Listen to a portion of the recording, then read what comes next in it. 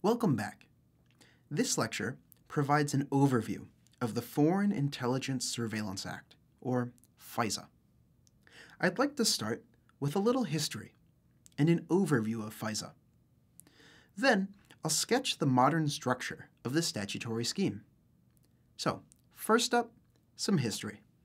For about two centuries, Congress left foreign intelligence almost exclusively to the executive branch. Early spying was fairly ad hoc and related primarily to foreign affairs and military concerns. In the 20th century, the United States professionalized spying. Efforts were initially concentrated in the uniformed services, but by mid century, an entire intelligence field was taking form. In 1952, President Truman established the National Security Agency within the Department of Defense. To this day, the NSA is the premier United States signals intelligence agency.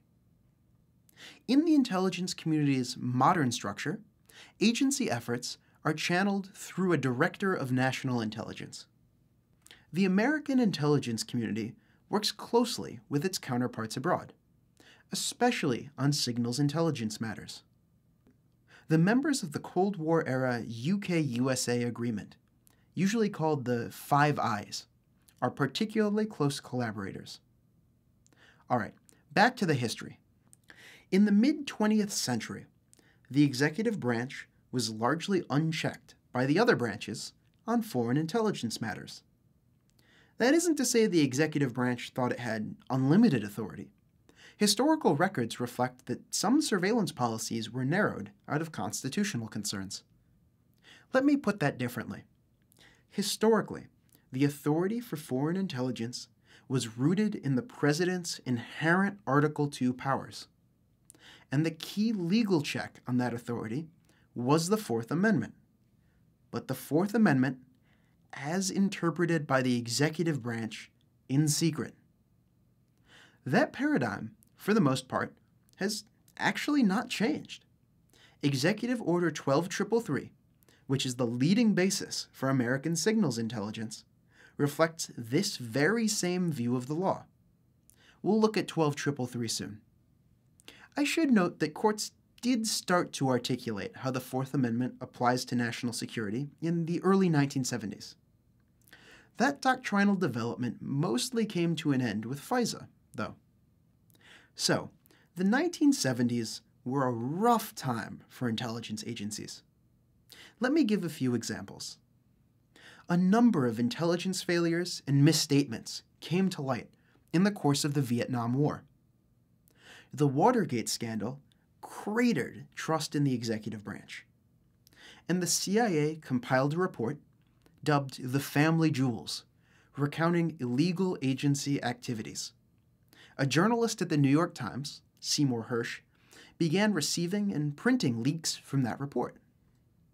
The White House responded by launching a review of the CIA, and the Church Committee in the Senate and the Pike Committee in the House both delved into what the intelligence community had been up to. A number of deeply concerning and flagrantly illegal programs came to light. Let me emphasize a few. COINTELPRO was an FBI program to covertly infiltrate domestic political groups. The NSA's Minaret program involved warrantless interception of domestic electronic communications. Shamrock was bulk collection of one end foreign telegrams, that is, telegrams where one end is outside the United States. In the HT Lingual program, CIA officers opened and photographed mail to and from Russia and China. And in one of the weirdest programs, MK Ultra, the CIA engaged in human behavioral experimentation. I wish I were making this stuff up. So, because of these programs and others, there was unprecedented outrage directed at the intelligence community. Congress responded by establishing intelligence oversight committees. In the Senate, the Select Committee on Intelligence. And in the House, the Permanent Select Committee on Intelligence. Those congressional committees exist to this day. The original idea was that legislators would have the time and the resources to deeply understand intelligence activities.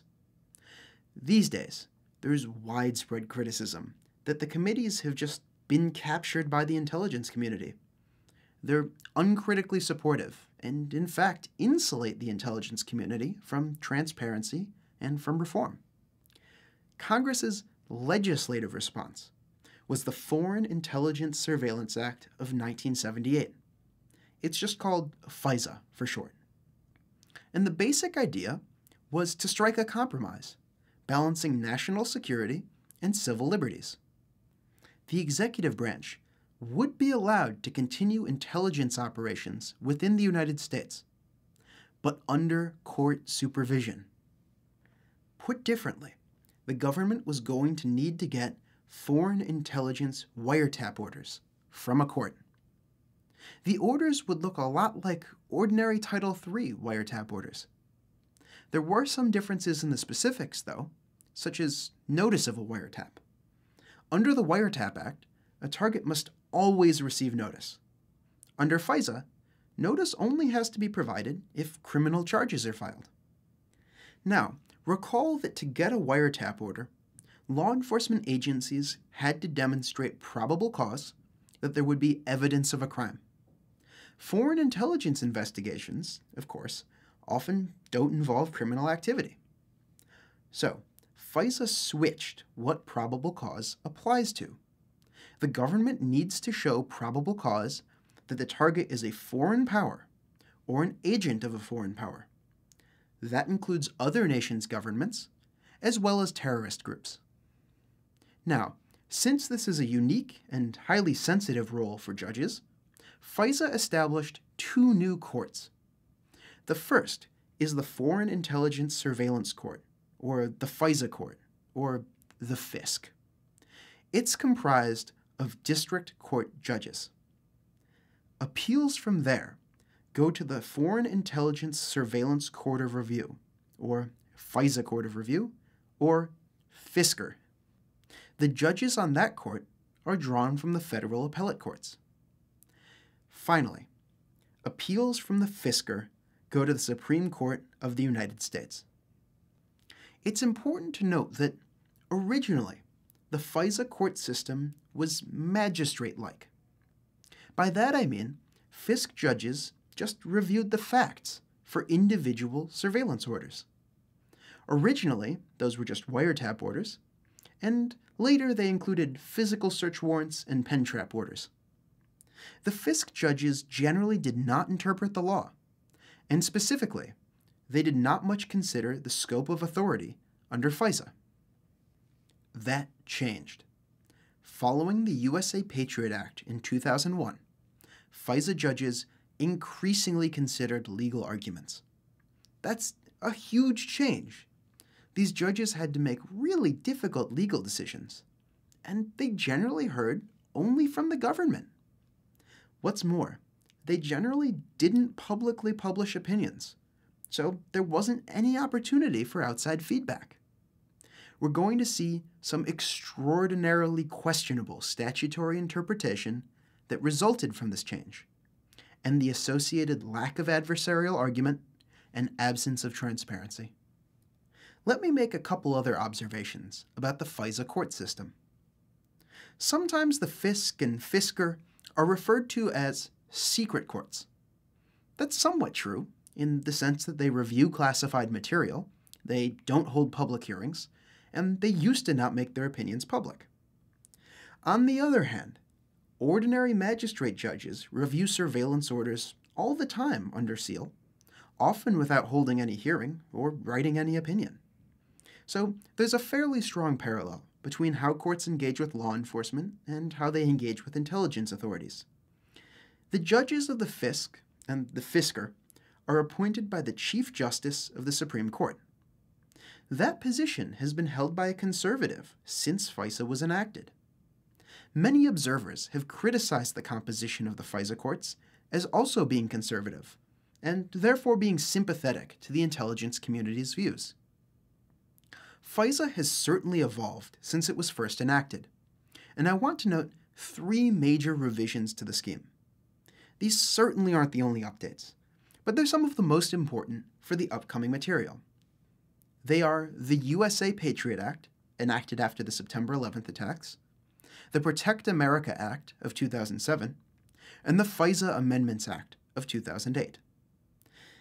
Yes, that last one is technically the Foreign Intelligence Surveillance Act Amendments Act. Go figure. The very final note I'd like to make about FISA's history is the so called FISA wall. As a matter of executive branch policy, and less a matter of statutory law, there was a sharp division between intelligence and law enforcement. The relevant agencies had limited collaboration and information sharing. In the 2000s, the FISA wall came down. Federal intelligence and law enforcement agencies developed lasting relationships, and to this day work together quite closely.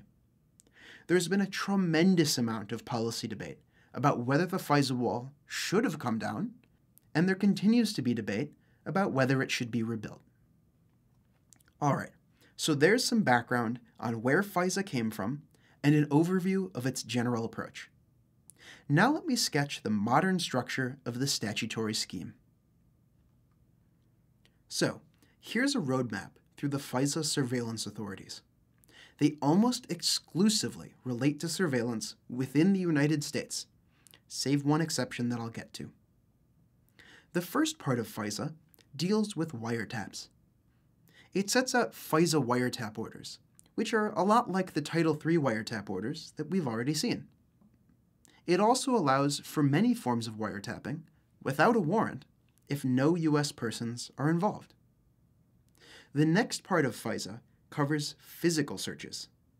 In intelligence lingo, these are called black bag jobs. In order to conduct these physical searches, federal agents apply for FISA search warrants, much like the Rule 41 search warrants that we've already seen. Again, there's allowance for warrantless searches where no U.S. persons are involved. The third part of FISA addresses pen registers and trap and trace devices. The text sets out FISA pen trap orders, borrowing substantially from ECPA's pen trap provisions. I'm going to put a little star next to this one to highlight that it was the basis for a bulk surveillance program. Next up is the part of FISA that covers business records. It introduces a new type of court order, the FISA Business Records Order. That gets a bulk surveillance star, too. The last part of FISA that I'd like to emphasize deals with combined electronic surveillance. By combined, what I mean is that these provisions can be used for either prospective or retrospective electronic surveillance. These provisions are especially complicated, so feel free to rewind as necessary. One section in this part of FISA is the notorious Section 702 of the FISA Amendments Act. It provides for combined warrantless surveillance inside the United States when targeting non US persons outside the United States. That's a mouthful, so let me say it differently. If a foreigner is outside the country and sends some data into the country, then this warrantless provision applies. It's the basis of a bulk program, so it gets a star.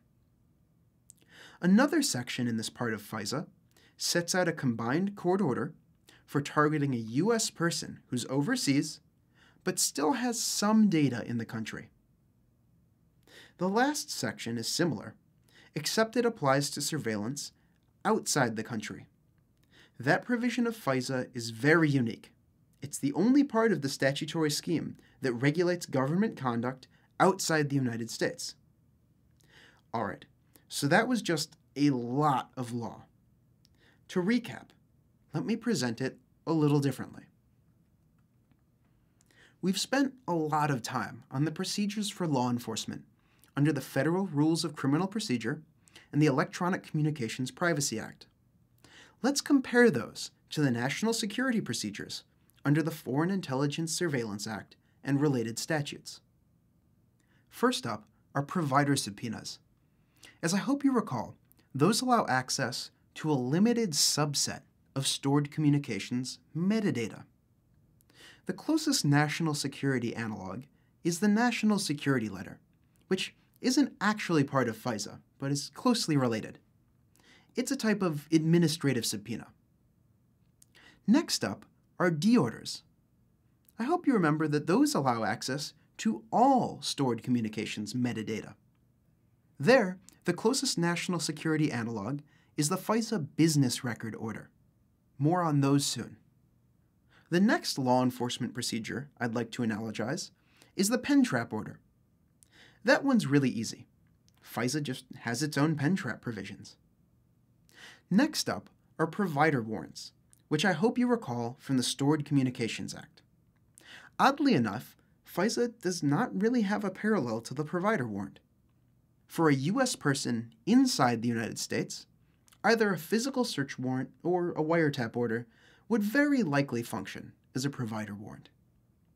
For a U.S. person outside the United States, a combined warrant and wiretap order is available.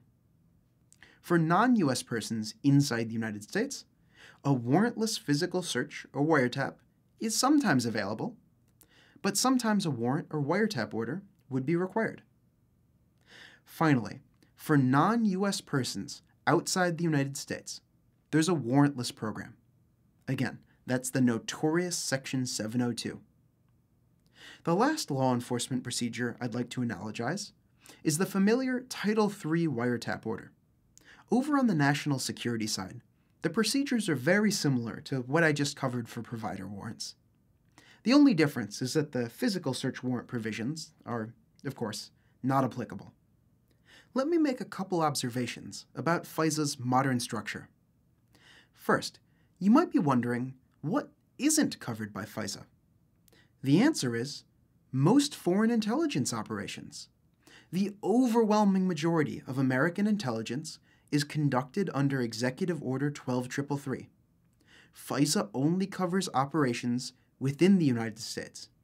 There is, again, that one exception for electronic surveillance targeting U.S. persons outside the U.S.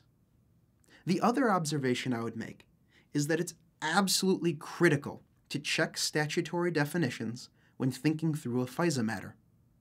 Just like we saw with ECPA, the definition of a term can totally flip the outcome of an issue. For instance, the term physical search is defined to only cover searches inside the United States. If you weren't reading closely, you might think FISA covers physical searches outside the United States. All right, so there's a big picture sketch of FISA's modern structure. Before closing, let me share a little data on how the federal government has used the FISA wiretap and physical search provisions. For these two authorities, the data reported by the government is pretty good. I'd like to emphasize three features of the graph. First, the FISA physical search provisions were enacted in 1995, so that's why physical searches don't initially appear. While the government's top line figures combine wiretap orders and physical searches, more recent reports have somewhat teased them apart. So, this much is clear. The overwhelming majority of applications are for a wiretap order, or for a wiretap order in conjunction with a physical search warrant. Very few FISA applications are solely for a physical search warrant. The second feature I'd like to note is that in the years following the September 11th attacks, the executive branch increasingly turned to FISA authority. Applications over doubled.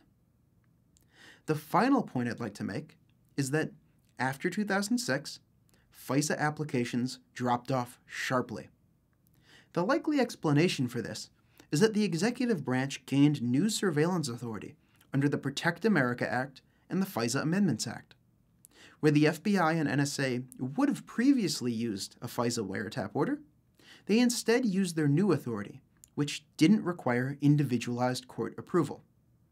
All right, so there's a little data on the FISA wiretap and physical search provisions. In the upcoming lectures, we're going to work through the details of a few specific national security procedures.